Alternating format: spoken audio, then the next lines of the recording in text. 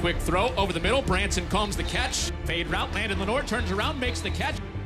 Oh, quick throw right. Hard trip catches. Branson Combs reaching catch over his helmet. Throws quick right. Caught by Cox. Spins off a man inside the five. It's caught by Cox right sideline.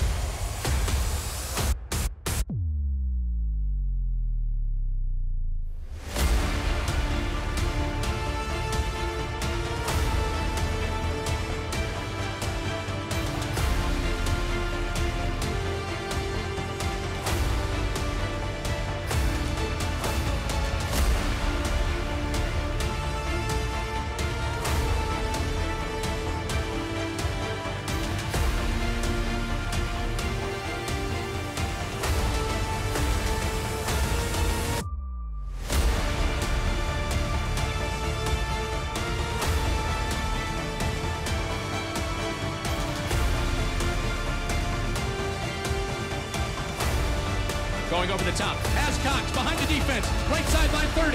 Races to the 20.